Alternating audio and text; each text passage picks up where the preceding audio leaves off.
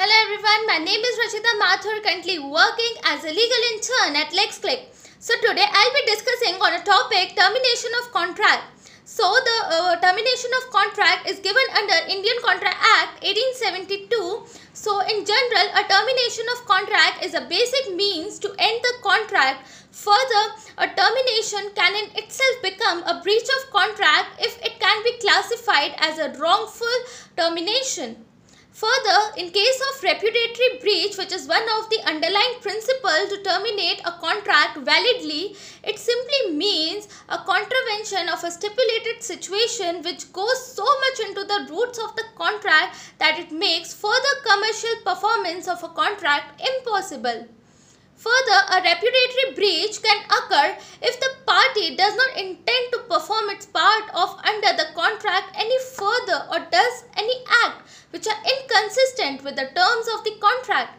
So such an act ultimately affects the rights of the other party and consequently in case of such a breach, the option which is available to the other party is either to terminate the contract or to continue the contract by repairing the breach.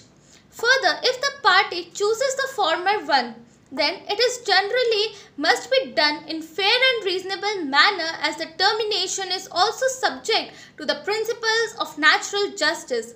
However, in some exceptional cases, a termination following the repudiatory breach of contract can also be justified even if the principles of natural justice or the procedure given in the agreement is not followed. Like there was uh, there was one case of Air India Limited in which it was being held that in case of repudiatory breach of contract by one party, the termination of contract by the other party is justified even if the procedure is not followed. Further, inaction or delay or on the part of one party can make the procedure given for the termination non-adherence of the procedure that may not be suffer the party which committed the breach due to their inactions. Now, there was one uh, more case of uh, Deva Builders. Uh, in, in that case, the Supreme Court held that although the defendant has not given the prior notice for terminating the contract, but it was the plaintiff who had committed such breach of the contract by not executing the work in accordance with the terms and conditions of the agreement.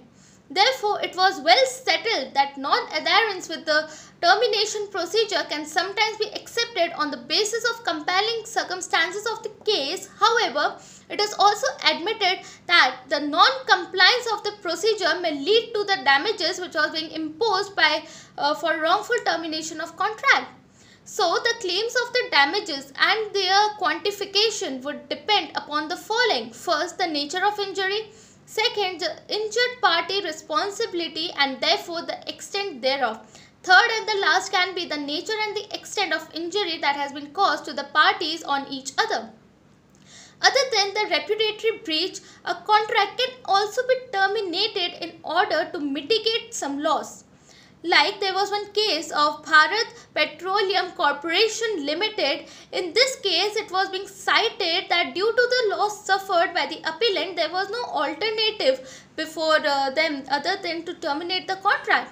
The court in that case held that the contract could not be specifically enforced and defendant company could not be compelled to, conti to continue the, uh, the distributorship of the agent who has uh, deputed not only the defendants but even the customers uh, no, this conclusion is also inconsistent with the judgment that was being given under the case of strate uh, strategic outsourcing uh, INC. In that case, the Court of Counsel uh, for the uh, further stated that when a party loses a substantial amount of money under a contract and the negotiation is impossible, then the motive to terminate the contract is neither wrongful Further, it specifically held that a party desire to avoid some financial losses constitutes a reasonable ground for delaying for declining to perform otherwise applicable to a contractual obligation.